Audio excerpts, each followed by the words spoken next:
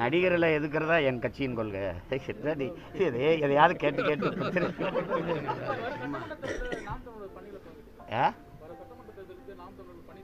சிறப்பாக சிறப்பாக செய்து கொண்டிருக்கு சிறப்பாக செய்து அதை வந்து மரியாதைக்குரிய ஐயா ஸ்டாலின் தான் முடிவு எடுக்கணும். அவர் எந்த தொகுதியில் போட்டுக்கிறாரோ அந்த தொகுதியில் போட்டுக்கலாம் சண்டை திமுகவுக்கு மாற்ற அதிமுக இல்லை இன்னி. திமுகவுக்கு மாற்று நாம் தமிழர் தான். திமுகவா நாம் தமிழரா? திராவிடரா தமிழரா? இந்த சண்டையை கொண்டாந்து நிறுத்துவோம் இந்த தேர்தலை. அதில் அதில் மற்றவர்கள் பயப்படலாம். எனக்கு ஒரு பயமும் கிடையாது. நான் பிரபாகரனின் மகன் அவர் கருணாநிதி மகன். ரெண்டு பேரும் ஒரே களத்தில் யுத்தம் செய்கிறோம் சண்டை அதிமுக அதிமுக அ- அதிமுக எதிர்க்க வேண்டிய கட்சியே கிடையாது. அது வந்து எதிர்க்க வேண்டிய கட்சியே கிடையாது. அதை போய் எதுக்குன்னா வில்லன் இல்லாத ஹீரோவுக்கு வில்லன் இல்லாத ஹீரோவுக்கு வேலை என்ன இருக்கு? வில்லன் யாரு? அதிமுகவே பெத்து போட்டதே பெத்து போட்டதே நீங்க தான் கோட்பாடு போய் திராவிடங்கிறீங்க அதுன்றீங்க அழிக்க முடியாதுன்றீங்க. சரி வாங்க ஒரு தடவை சண்டை போட்டு பார்த்துருவோம் அவ்வளோதான் அவர் எங்கே போட்டிடுறோ அங்கே போட்டிடுவார் வந்து இந்துத்துவாவை இந்துத்துவாவை வந்து திராவிட திராவிட கட்சிகள் எதிர்க்குதுன்னு யார் சொன்னார் நூறு விழுக்காடு இந்துக்கள் பிஜேபி. தொண்ணூறு விழுக்காடு இந்துக்கள் என் கட்சியிலன்னு சொன்ன தலைவர் யார்? யார் இல்லையா? யார் யார்? நாங்கள் இந்துக்களே இல்லையே. நாங்கள் இந்துக்களே கிடையாது நாங்கள் சைவர்கள். நாங்கள் சைவர்கள் எங்கள் சமயம் சிவசமயம் நாங்கள் சைவ சமயம் நாங்கள் சிவன் முருகன் மாயோனை வழிபடுகிற கோட்பாட்டை கொண்டவர்கள். வெள்ளக்காரன் சார் வில்லியம் ஜோன்ஸ் போட்ட சட்டத்தில் என்னை வந்து இந்து ஆக்கிட்டு மதம் மாற்றிட்டு நானா இந்து? நான் முருகனை வழிபடுகிற சைவன் அதுலேயும் வீர சைவன் நான். சமயம் சைவம். ஆனால் எப்போதும் நாங்கள் சாப்பாட்டில் அசைவோம். அதனால வீர சைவர்கள் தாங்க. நீங்கள் எங்களை போய் என்னமோ இது வந்து வெள்ளக்காரனை விரட்டி விட்டுறோன்றீங்க. கிறித்துவ கைக்கூலின்றாங்க பிஜேபிக்காரர்களாக எல்லாரும் மற்றவங்க கிறித்துவ கைக்கூலி உண்மையிலே ஆர்எஸ்எஸ் பிஜேபி தான். அவன் உருவாக்கின நாடு அவன் போட்ட மதம். இதை பிடிச்சிட்டு தொங்கிட்டு இருக்கிறது நாங்களா நீங்களா? வைத்து ஒரு பைத்தியக்கார கூட்டம் கிளம்பி திரிந்தது. சார் ஹேமந்த் சோரன் வந்து பழங்குடியின மக்கள் வந்து இந்துக்கள் இல்லை இல்லை தனி மதமா வந்து அறிவிக்கணும். அதை தான் நாங்களும் சொல்கிறோம் லிங்காயத்து போனாங்கல்ல அது மாதிரி இப்போ நான் அதிகாரத்துக்கு வந்தால் நாங்கள் போயிடுவோம் எங்கள் சமயம் வேறு. நான் ஏன் உன் மதத்துக்குள்ள இருந்துட்டு ஏன் சாமியை கும்பிடணும்? உனக்கு ஏது சாமி? உனக்கு ஏது கடவுள்? எல்லாம் என்கிட்ட இருந்து எடுத்துக்கிட்டது. அதை எடுத்துக்கிட்டு சும்மா வந்து இந்து இந்துன்னு இந்து. சரி இந்து தான் எல் முருகன் இந்து தானே. அவர் வீட்டில் போய் எச்சிராஜா ஒரு தடவை சாப்பிட்டு வர சொல்லு. இல்லை இரு எல் முருகன் வீட்டில் இந்த பிஜேபியில் இருக்கிற மூத்த தலைவர்கள் போய் சாப்பிட்டு வர சொல்லு. நான் அப்புறம் அந்த அதை ஏற்றுக்குவோம் வேலை தூக்கிட்டு போகிறாரு கோயிலுக்குள்ளே கூட்டி போனீங்களா அவரை? கூட்டி போவீங்களா? பிரசிடென்ட் ஆஃப் இந்தியாவே கோயிலுக்குள்ளே இல்லை நாட்டின் முதல் குடிமகனே ஓரத்தில் உட்காந்து யாகம் பண்ணிட்டு போயிட்டுருக்காரு இந்த கேவலத்தை துடைக்க முடியல இருந்து பேசிட்டுருக்கிறேன் வேற ஏதாவது? இறப்பு தழுவும் இறுதி நொடி வரை நான் அரசியல்ல திரும்பவும் அடியெடுத்து வைக்க மாட்டேன் அப்படின்னு?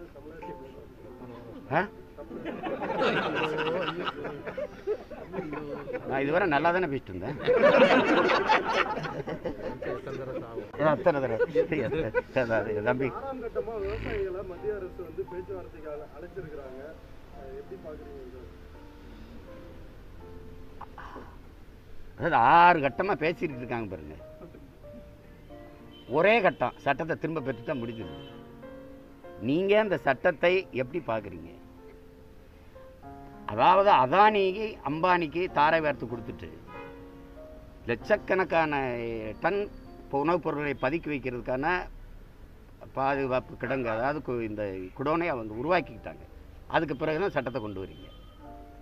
அப்போ அது யாருக்காக உருவாக்கப்படுதுன்னு தெரியுதில்ல?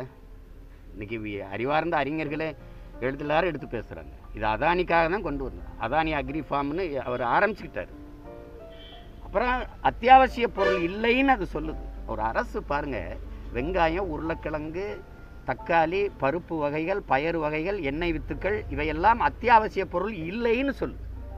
சட்டம் சொல்லிடுச்சுன்னா அத்தியாவசிய பொருள் இல்லைன்னு ஆயிருமா? இப்போ நான் தக்காளி வெங்காயம் உருளைக்கிழங்குலாம் சாப்பிடக்கூடாதா? அப்போ சாப்பிட முடியாதா? அது அத்தியாவசிய பொருள் இல்லைன்னு ஆயிடுதுமா என்ன? அது ஒரு பைத்தியகாரத்தனமான ஒரு ஒரு அணுகுமுறை. அதை திரும்ப பெறுங்கன்னா அது வந்து சேட்டையை காட்டிக்கிட்டு இருக்குது. என்ன செய்யறது? மம்தா மாதிரி என் என் மாநிலத்தில் அது செயல்படுத்த மாட்டேன் அப்படின்னு சொல்கிறதுக்கு ஒரு ஆள் நமக்கு இல்லை. ரஜினிகாந்த் அரசியலுக்கு ரஜினிகாந்த் அரசியலுக்கு வர வேண்டாம். அ- க- கட்சிகள் ஆரம்பிக்க வேண்டாம். ஆனா அவருடைய ஆதரவு எங்களுக்கு வேணும்னு சொல்லிட்டு ஒரு அமைச்சரே அறிவிக்கிறார். எப்படி பாக்குறீங்க அமைச்சர் கேட்டால் கொடுத்தாலும் கொடுத்துருவாரு. சும்மா ஏதாவது சொல்கிறதா அது அவர் இந்த இந்த கட்சி ஆட்சிகளுடைய ம இது சரியில்லாமல் தான் ஒரு கட்சி ஆரம்பிக்கணுன்னே வந்தார். அது எப்படி இந்த கட்சி அமைச்சர் கேட்டால் ஆதரவு கொடுத்துருவார் அவர்? செய்ய மாட்டார். அப்போ அவ்வளவு அ- அவ்வளவு பெரிய தவிர அவர் செய்வார்னு நான் நினைக்கல. விவசாயிகள் ஆயிரத்தி ஐநூறு ஜியோ செல்போன் ஆயிரத்தி ஐநூறு அடித்து உடைச்சது பத்தாது. மொத்தமாக அடித்து உடைக்கணும்னு நான் விரும்புகிறேன் அது அதை எதுவும் இது. அவன் வந்தான்ல ஜியோ ரைஸ்னு வந்தான்ட்டான் இல்லையா? ஜியோ ரைஸ் கொண்டு வந்துட்டான் இல்லையா? இப்போ எதுக்காக இந்த சட்டம் வந்திருக்குன்னு தெரியாதா? அந்த வெறுப்பில் இருக்க மாட்டான் அவன்? ரெண்டு முதலாளிக்காக நாட்டை விற்கிறத எப்படி இருக்கிறது சொல்லுங்கள் ஏர்போர்ட் அவனுக்கு கொடுத்துருவீங்க துறைமுகத்தை அவன் கொடுத்துருவீங்க நிலங்களை பறித்து அவனுக்கு கொடுத்துருவீங்க. ஹரியானாவில் அவர் இருபத்தி மூணு ஏக்கரில் குடோன் கட்டியிருக்காருன்றாங்க. சார், வருகிற சட்டமன்ற தேர்தல்ல நாம் தமிழரோட முதல் ஆஹ், கொள்கை என்ன இருக்கு? எதை நோக்கி பயணிக்க இந்த சட்டமன்ற தேர்தல்ல? எத்தனை. எத்தனையோ முறை சொல்லிட்டோம்.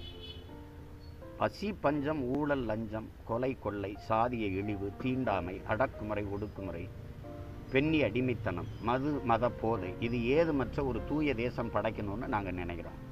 காட்டு வளம் கனிம வளம் நீர் வளம் கடல் வளம் மலை வளம் இவற்றை காப்பது அனைவருக்கும் கல்வி. கல்விக்கேற்ற வேலை. வேலைக்கேற்ற சம்பளம். அதை கொண்டு வாழ்கிற பெருமை மிக்க வாழ்வு.